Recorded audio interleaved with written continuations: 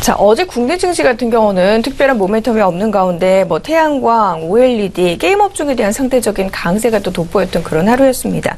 어, 특히나 지금 게임 업종의 넷마블 게임즈의 그 IPO를 앞두고 관심이 확대되고 있는 듯한데 게임 업종 좀 살펴볼까요? 네, 게임 업종 이렇게 보셔야 될 것 같습니다. 지금 넷마블 게임즈 이제 그 상장 IPO 앞두고 있는 그런 상황이죠.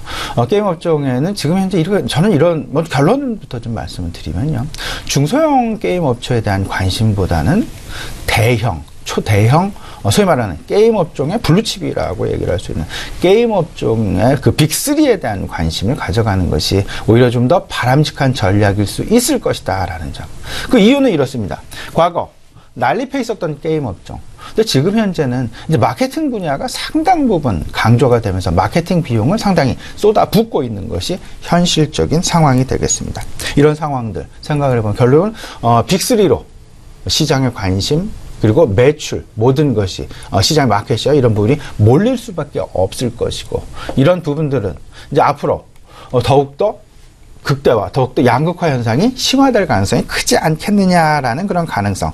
게임 업체의 양극화가 바로 그냥 어, 고착할 될 가능성 높지 않겠느냐라는 부분 생각을 해보시면서요. 결국은 치열한 경쟁.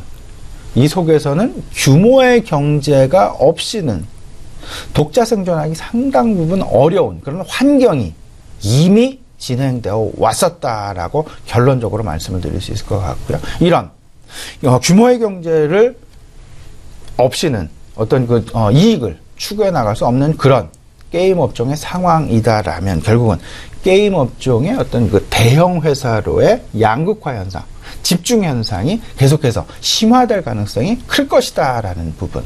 여기에 또 한 가지 우리가 고민해야 될 부분이 있죠.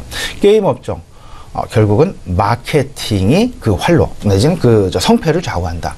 그 마케팅 결국은 대형 자본이 필요할 수밖에 없는 그런 상황일 것이다라는 점. 이렇기 때문에 게임 업종 내에 있어서는 대형 회사로의 양극화 현상 아마도 지금 현재보다도 더 심화될 가능성이 클 것이다라고 보셔야 될 것 같고요. 작년 2016년 게임 업종 빅3의 매출이 4조 5천억 원을 넘어서는 그런 모습들이 나타났습니다. 이 부분은 조금 더 아마도 빠른 속도로 확대될 것으로 그렇게 생각이 되고요.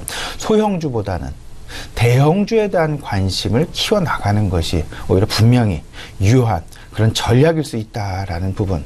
뭐 NC소프트랄지 아니면 넥슨이랄지 어, 이제 뭐 조만간 상장을 하는 넷마블 게임즈에 대한 관심 분명히 필요해 보인다라고 말씀을 드리겠습니다.